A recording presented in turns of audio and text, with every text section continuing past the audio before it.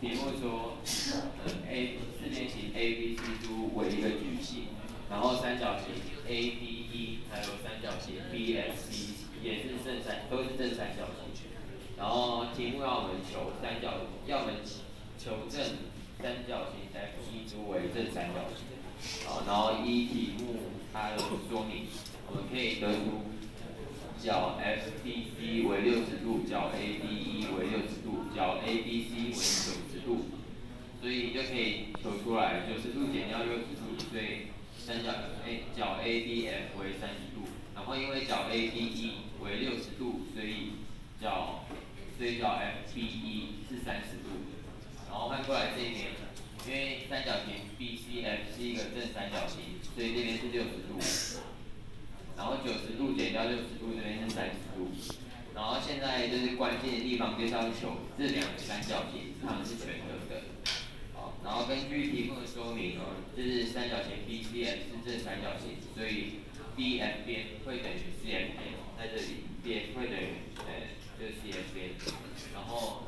AB 因为三角形 ABE 是正三角形，所以 AB 边会等于 BE 边。然后这是一个矩形，两。对边会相等，所以 AB 会等于 C 柱，所以就是 AB 等于 BE 等于 C 柱，所以 BE 边会等于 C 柱边。然后这边三十度，这边三十度，然后 BF 边等于 CF 边，然后 BE 边会等于 C 柱边，所以有三是呃全等的性质，SAS 可以得出三角形 BEF 会三角形 FBE 会全等于三角形 FC 柱，对，然后。既然这两个三角形全等的，所以 F 一边会等于 F 柱边，就是 F 一会等于 F 柱。好，然后再有因为这两个三角形相似，哎，全等，所以